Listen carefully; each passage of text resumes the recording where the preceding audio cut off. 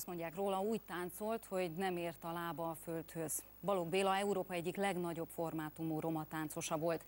Egyszer azt mondta magáról, a tánc határozza meg benne a tudatot, hogy miként éljen. A híres táncos 1994-ben tragikusan fiatalon, 37 évesen hunyt el.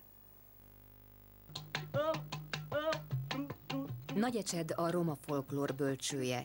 Itt már egész picikorban az anyateljel szívják magukba a gyerekek a lépéseket, csapásolásokat. Balog Béla innen indult, és amikor felment a színpadra, őserővel sugárzott a nézőtér felé.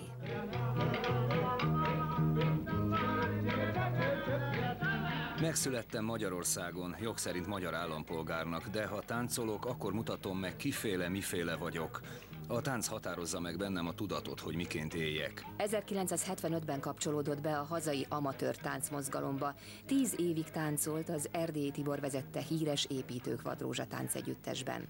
Balog Bélát 1979-ben a népművészet ifjúmestere, 1981-ben pedig aranysarkantyús táncos címmel tüntették ki.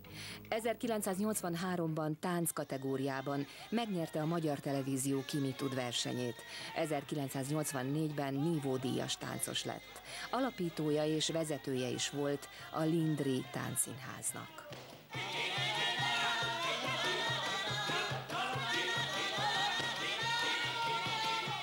Otthon a falumban természetes volt, hogy cigányok, nem cigányok, magyarok, nem magyarok élték a kultúrájukat. Meséltek, énekeltek, táncoltak. A gondolkodásmód pedig azért fontos, mert aki meri vállalni, hogy ez a parasztánc a saját kultúrája, az az övé is lesz.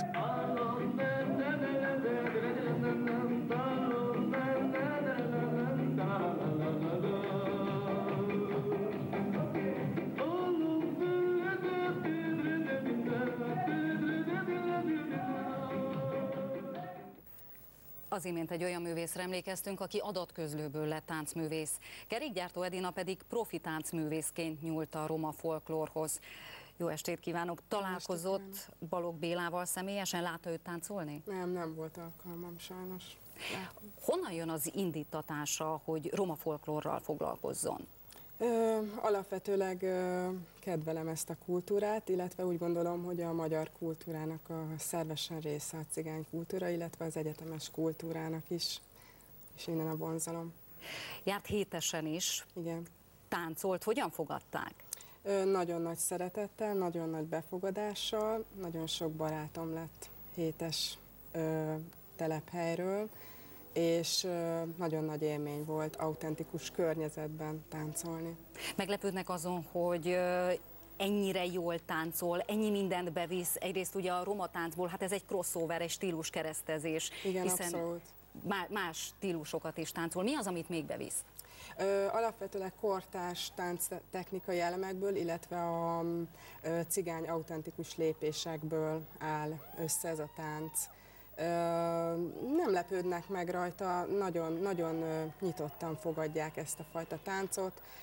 Díjat is kaptam rá, első helyezést, úgyhogy mind a két részről elismerik. Az az érdekes, hogy nem csak cigányzenére táncol, erre is, de még nagyon sok más fajta zenével. Jazz, jazz, hát Szakcsilakatos Bélának hallhattuk a Nadere lemezéről ezt az imént eltáncolt táncot, és hát ő a, ugye keveri a jazz zenét a, a, a, a roma zenével, és itt hát a táncban abszolút ugyanezt a dolgot lehet művelni. A Nadara ne félj. Igen, az az album. Az az érdekes, hogy a tánc, amilyen felszabadult, vidám kellene legyen, nagyon sok táncát megnéztem, az volt az érzésem néha, hogy nagyon sok benne a fájdalom. Jól érzem, vagy tévedek? Ö, jól érzi, hát nagyon sok koreográfia a cigány holokausztal foglalkozik, és hát ez egy nagyon szomorú téma, tehát a fájdalomnak jelen kell lennie.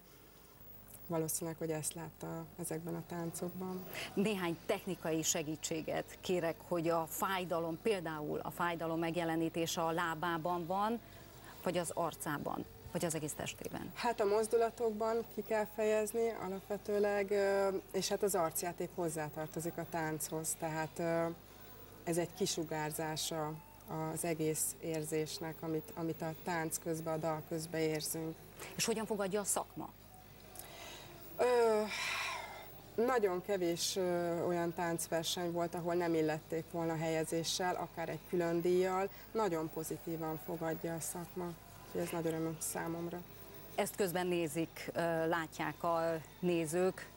Éppen ez melyik Ez egy volt? első mm, helyezést kaptam erre a tánc koreográfiára, ez a cigány himnuszra született, és Lőrinc Kati volt ennek a versenynek az elnöke, és ez bizony már kortárs cigánytáncnak mondható.